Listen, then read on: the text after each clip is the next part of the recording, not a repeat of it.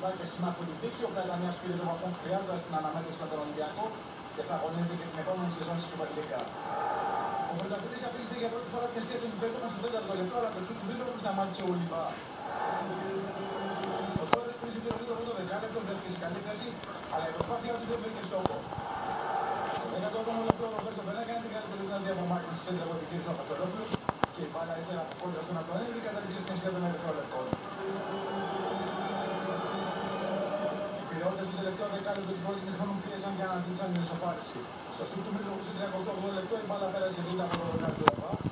Ενώ στο 42 λεπτό ο Γάλλος πνευματοφύλακας του Πλατανιά δεν επέτρεψε αρχικά τους παιχνίδες και στη συνέχεια του Ντομίγες να πανηγυρίσουν. Στο ξεκίνημα του δεύτερου χρόνου οι Ερυθρόλευκοι απείλησαν με τον Μιλικόντοβιτς, αλλά το πρώτο σουτ του Σέρβου απέκτησε ο Λιμπά και το δεύτερο έστειλε την μπάλα out. Ο Φράνκο Χάρας το 27ο λεπτό έφυγε στην πλάτη της άμυνας των Λιπερούχων και υποχρέωσε τον Λιμπά να μαζέψει την μπάλα από το βάθος της αιστείας του.